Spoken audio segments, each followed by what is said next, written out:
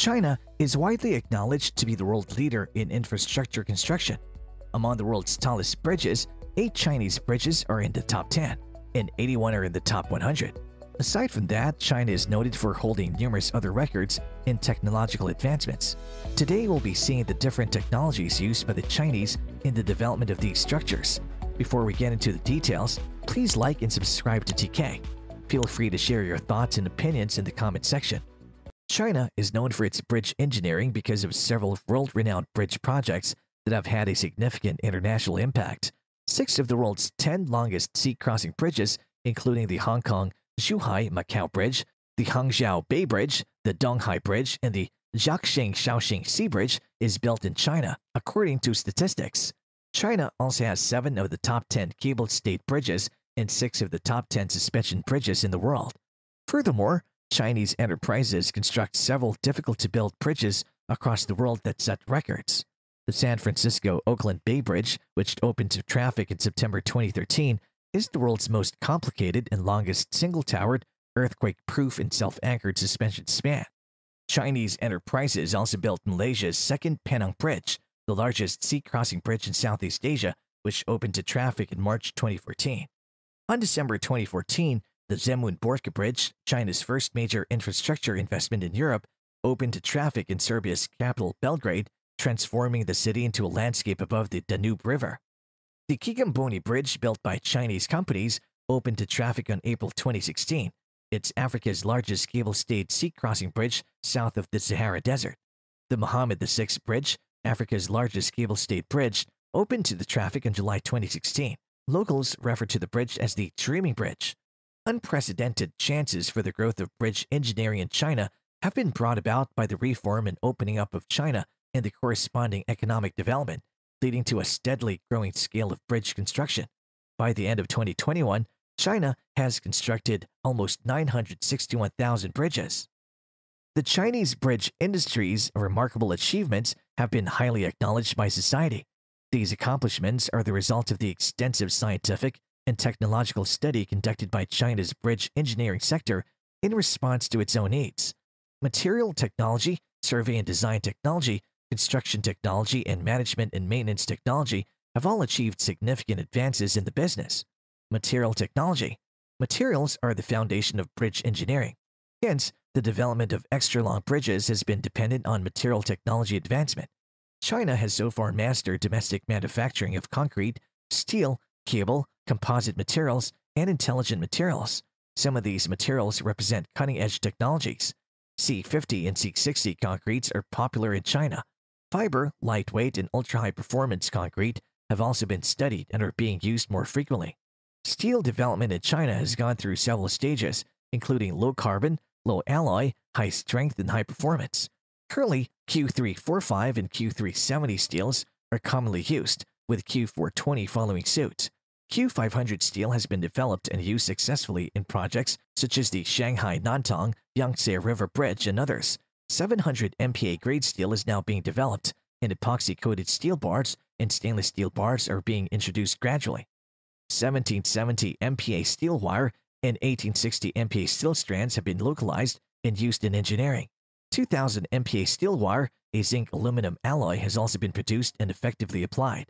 Fiber reinforced plastic or FRP composite materials have been used in bridge repair and strengthening, and relevant application research on cables has also been conducted. Memory alloys, piezoelectric materials, optical fibers, and intelligent self-repairing concrete have all been explored and used.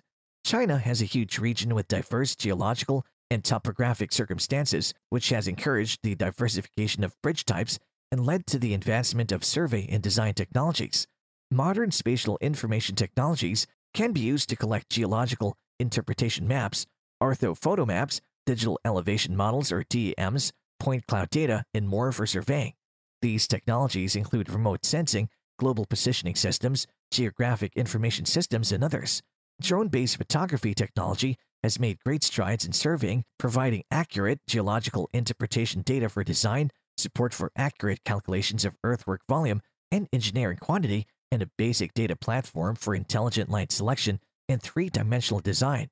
Similar improvements have been made to design theories, which have progressed from the allowable stress approach to the performance-based design method. Additionally, the field of sustainable design, which is based on the idea of sustainable development, is still emerging. The international acceptance of Chinese bridge technology has considerably benefited from developments in design theory and methodologies. Technologies appropriate for local conditions have been devised based on the four different types of bridges, such as girder bridges, arch bridges, cable stayed bridges, and suspension bridges. Innovative bridge designs like the split steel box girder suspension bridge, the hollow continuous steel bridge, and the concrete filled steel tube arch bridge are among these. Other examples are the structural system of a cable stayed bridge with a static limit and dynamic damping. These accomplishments have led to the development of novel bridge types, including low rise, cable stayed bridges, cable stayed tie arch bridge, and cable stayed suspended cable bridges. Together, these accomplishments provide a contemporary system of bridge types and constructions, with the suspension bridge, cable stayed bridge, girder bridge, and arch bridge serving as its primary constituents. Construction technologies.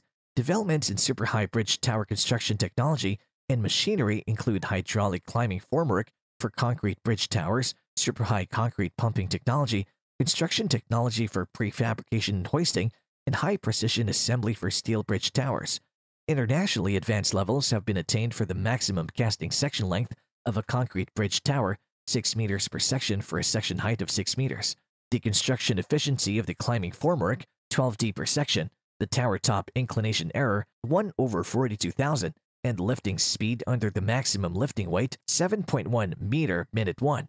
A 5200T tower crane has been independently developed and used in actual projects. Important pieces of machinery have been independently designed, including the floating crane, bridge erecting machine, bridge deck crane, riding cable crane, huge gigantic crane, and sliding formwork equipment. The riding cable crane's 900T lifting capacity and its rotating construction technology, which has a rotating body length of 190 meters and a rotating body weight of 22,400 tons, are at an advanced level by worldwide standards. Manufacture and installation of cables. Hot extruded polyethylene protective cable technology for cable stayed bridges and the hot extruded cable sheath are both used. It has been created and is commonly used in cable stayed bridges and arch bridges to erect super long stay cables using a soft hard combination and three stage hauling. Prefabricated parallel wire strands or PPWS main cable installation technology has been discovered. For instance, the main span of the Beipanjiang Bridge, which was built utilizing the stiffening skeleton construction technology on the Shanghai Kunming Railway, is 445 meters long, which is significantly greater than bridge spans in other nations, the largest of which is 210 meters. Stiffening skeleton encased concrete casting technology has applied the three-stage continuous vacuum-assisted pumping method to increase conveyance efficiency to 30.8 M3H1. The Chaotianmen Bridge's main span is 552 meters long and was constructed utilizing the cantilever assembling erection through cable-stayed suspension technique. The greatest lifting tonnage possible while using the rotating arch rib construction technique is 17,300 tons, and a vertical rotation technique has also been devised. The large section lifting method has a 2,800 tons maximum lifting weight. Larger tonnage cable cranes with a maximum lifting weight of 420 tons and height of 202 meters have been designed as construction machinery. In addition, the industry is seeing an increase in the use of the arch rib building method. In terms of management and maintenance, a two-level strategy has been devised that focuses on preventive maintenance reinforced by corrective maintenance. A variety of sensors and monitoring goods, such as a centimeter-level real-time dynamic differential global positioning system and a full series fiber grading meter, are widely utilized in the field of monitoring technologies. Several signal acquisition devices have been explored and built, including a microsecond clock synchronous vibration signal conditioner and a 100 Hz high-speed scanning fiber demodulator. Inspection-related technologies include non-destructive testing of bridge concrete, the detection of fatigue cracks in steel structures, the detection of underwater pile foundations, the identification of damage using high-definition cameras, the testing of bridge static loads, and a variety of testing tools like cable inspection robots and bridge inspection cars. New techniques and procedures have been used for bridge maintenance and reinforcement in terms of reinforcing technology, such as external pre-stressing reinforcement and carbon fiber composite materials, technologies for replacing cable or hangers and major girders as well as for reinforcing them are advancing quickly. For cathodic protection, new coating and joint protection technologies have been separately researched and developed. A comprehensive technical system for bridge maintenance, repair, and strengthening has been devised, shifting the emphasis from passive to active protection. Bridge engineering in China has launched on a successful path over the past 40 years, and they still keep on developing more and more methods. So, what do you think about this technological advancement in China? What are your thoughts on them expanding further in different fields? Can they overcome every hurdle